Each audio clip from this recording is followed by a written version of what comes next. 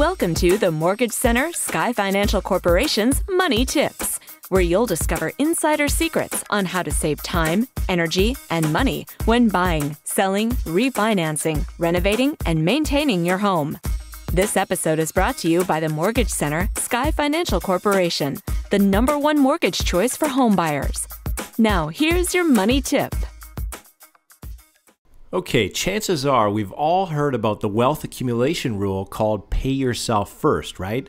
Basically, it involves taking a set amount from your monthly pay and putting it into savings. If you decide to pay yourself 10% every month, you'd be saving 10% of your income to invest for future prosperity. But billionaire Sir John Templeton had an even more powerful idea called the 50 50 rule. He decided that for every dollar he'd spent, he'd have to invest an equal amount. So every time he bought a car, TV, vacation, or house, he'd have to set aside the same amount for future prosperity. This method is obviously a lot more difficult than just paying yourself first. With the 50 50 rule, before you buy a $20,000 car, you'd have to put another 20,000 into investments. Not only does that encourage you to cut back on unnecessary spending, it forces you to save and invest a huge amount of money. Of course, getting to the 50 50 rule may take a few years as you slowly change your spending and saving habits. But once you're there, you're almost guaranteed to be amassing large quantities of money,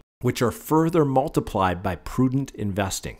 And before long, you'll be several steps closer to achieving the financial independence Sir John Templeton is famous for. For more information on how to use your mortgage to accelerate your wealth, call us today. Thank you for tuning in to this episode of the Mortgage Centre's Money Tips. If you have any questions or comments, please call us today at 780 486 6639.